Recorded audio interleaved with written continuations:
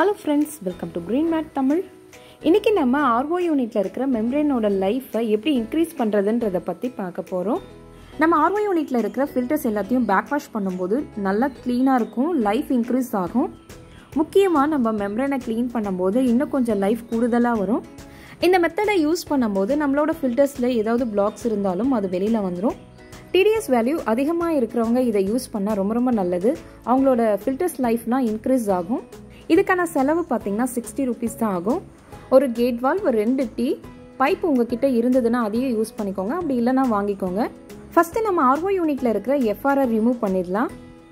Pipe உங்களுக்கு தேவையான அளவுக்கு கட் பண்ணிக்கோங்க. நம்ம மெம்ரேனோட எஃப்ஆர் கனெக்ட் ஆகி இருக்கிறதுனால தான் தண்ணி பியூரிஃபை ஆகி கிடைக்குது. எஃப்ஆர் கனெக்ட் ஆகாத பொழுது மெம்ரேன்குள்ளே எந்த ஒரு ப்ரெஷரும் க்ரியேட் ஆகாது. நம்ம இன்புட் கொடுக்குற அந்த வாட்டர் அப்படியே வேஸ்ட் வாட்டராக வெளியில் வந்துடும் எஃப்ஆரை கனெக்ட் பண்ணும்போது அதில் ஏரோ மார்க் கொடுத்துருப்பாங்க. அதை பார்த்து கனெக்ட் பண்ணுங்கள் மெம்ரேனோட நம்ம எஃப்ஆரை கனெக்ட் பண்ணலன்னா பம்ப் ப்ரெஷரோட வர வாட்டர் பார்த்திங்கன்னா மெம்ரேன்குள்ளே ஃபோர்ஸாக உள்ளே போகும். அப்படி தண்ணி ஃபோர்ஸாக உள்ளே போகும்போது நம்ம எஃப்ஆர் தான் அங்கே ப்ரெஷர் க்ரியேட் பண்ணோம். அந்த டைமில் நம்ம எஃப்ஆரை கனெக்ட் பண்ணலன்னா தண்ணி ஃபோர்ஸாக உள்ளே போய் மெம்ரேன் ஃபுல்லாக வாஷ் ஆகி அப்படியே நம்மளுக்கு வேஸ்ட் வாட்டராக வெளியில் வரும். இந்த கான்செப்டை தான் நம்ம யூஸ் பண்ண போகிறோம் இங்கே கேட் வால்வை நம்ம ஓப்பன் பண்ணும்பொழுது எஃப்ஆரோட ப்ரெஷர் மெம்பரனுக்கு கிடைக்காது. இந்த கேட் வால்வு நம்ம ஓப்பன் பண்ணும்பொழுது எஃப்ஆரோட ப்ரெஷர் மெம்பரனுக்கு போகாமல் ஒன்லி வாஷ் மட்டும் நடந்து வேஸ்ட் வாட்டராக இந்த கேட் வால்வு வழியாக வெளியில் போயிடும். நம்ம ஆர்ஓ யூனிட்டை ஃபஸ்ட்டு ரன் பண்ணும்பொழுது கேட் வால்வை ஒரு நிமிஷம் ஓப்பன் பண்ணி வச்சோம்னா ஃபில்டர்ஸில் இருக்க அழுக்காக இருக்கட்டும் மெம்ரேனில் இருக்கிற அழுக்காக இருக்கட்டும் எல்லாமே இந்த கேட் வால் வழியாக வெளியில் வந்துடும் இப்போ நம்ம மெம்ரேனோட இந்த செட்டை கனெக்ட் பண்ணணும்.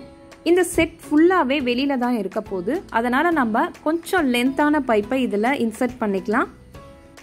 இந்த ரெண்டு பைப்பையும் நம்ம பேக் டோரில் ஒரு ஹோல்ஸ் கொடுத்துருப்பாங்க. அது வழியாக வெளியில் எடுத்துக்கலாம். ஒரு சிலருக்கு புஷ் ஃபிட் கொடுத்துருப்பாங்க. அதில் நீங்கள் கனெக்ட் பண்ணிக்கோங்க. இன்புட் அவுட்புட்டை மட்டும் கரெக்டாக பார்த்து கொடுங்க. எஃப்ஆரோட ஏரோ மார்க்கை கரெக்டாக பார்த்து செட் பண்ணுங்கள்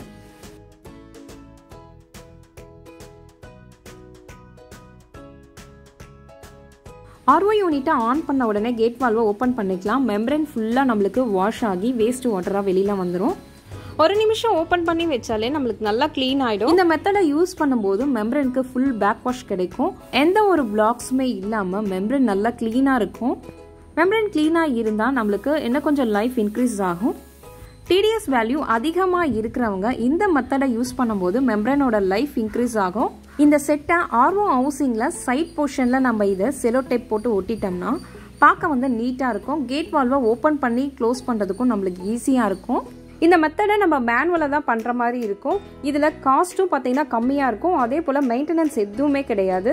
இதையே நம்ம ஆட்டோமேட்டிக்காகவும் பண்ண முடியும். அடுத்தடுத்த வீடியோக்களில் அதை பார்க்கலாம். உங்களுக்கு அந்த ஷேப் பிடிக்கலன்னா ரெண்டு எல்லை யூஸ் பண்ணி நம்ம இதை ரெக்டாங்கிளாகவும் மாற்றிக்கலாம் இது ஸ்பேஸ் கொஞ்சம் கம்மியாக பிடிக்கும்.